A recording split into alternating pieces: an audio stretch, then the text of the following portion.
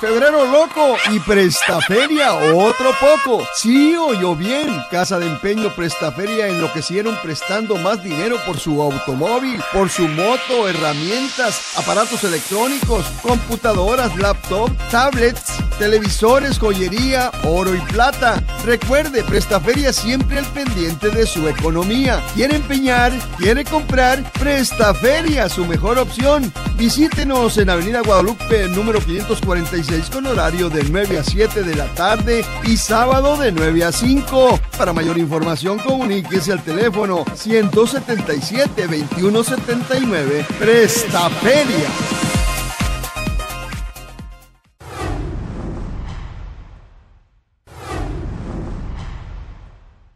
Pues satisfecho por haber representado este, este distrito, seguirlo representando hasta, hasta el último día eh, a cabalidad esta encomienda.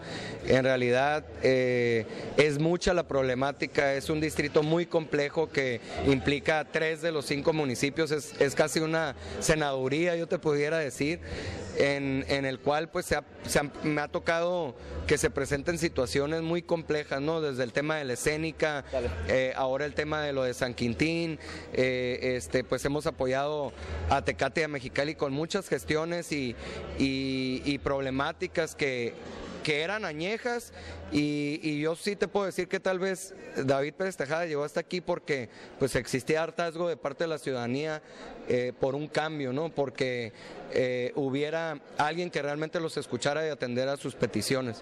Entonces en esa parte eh, yo me voy satisfecho y estoy satisfecho hasta ahorita por la actividad realizada, aunque hay muchas cosas que sí te frustra que no avancen de la manera como tú quisieras.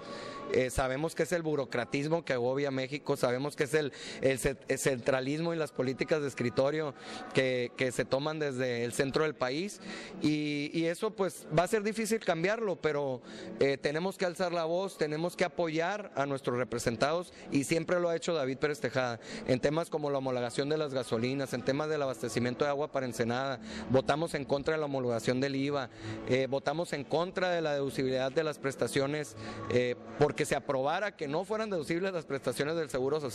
En fin, son muchas cosas que conocemos de qué adolece, provenimos de los organismos empresariales, de organizaciones so- sociales y civiles como los Rotarios y otros grupos de apoyo y, y, pues cuando estás del otro lado del escritorio la cosa cambia, ¿no?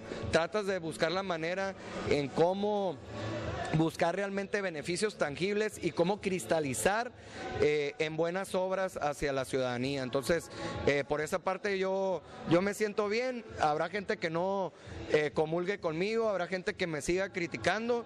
Pues no importa, ¿no? Realmente yo les decía, esas críticas, esa falta de credibilidad de la ciudadanía hacia los políticos siempre va a existir. Hay ideologías, hay partidos, hay gente apática, hay gente que nunca se suma, que únicamente critica, pero no propone, ni construye, ni contribuye. Y, pues es la idiosincrasia de- del mexicano y de cualquier ser, hum- ser humano, ¿no? Entonces yo no los culpo. Eh, yo he tratado de trabajar con quien se deja, con quien puede y con quien levanta la mano. Y yo estoy muy contento de que, de que cuente con un compañero diputado como Ricardo Medina Fierro y con un compañero alcalde como Gilberto Irata Chico, que siempre han estado dispuestos en colaborar, en que hagamos trabajo en equipo y logremos mejores cosas para Ensenada. Señor, ¿cómo se ve la problemática de la zona sur en la Cámara de Diputados? Eh, se ha alzado la voz, particularmente la diputada Carmen López Segura eh, realizó el uso de la tribuna para, para comentar al respecto. Eh, estamos tratando de que venga a sesionar la Comisión de Asuntos Indígenas a esta zona. No es únicamente eh, un tema de etnias, eh, es, un también, es también un asunto de violación de derechos laborales, de prestaciones de seguridad social.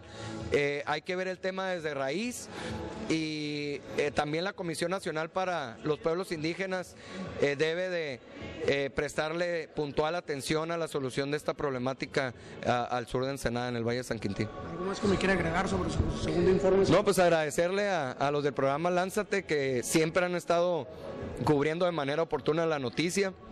Que siempre han estado ahí para informarle a los ensenadenses que David Pérez Tejada no se ha quedado dormido en su curul sin, sin traer beneficios a, los ensenadenses. Muchas de las obras que actualmente se están realizando por parte del presidente municipal eh, fueron trabajo en conjunto, fueron proyectos que se presentaron eh, ante la federación y pues yo estoy satisfecho con que eh, hemos cumplido con la tarea.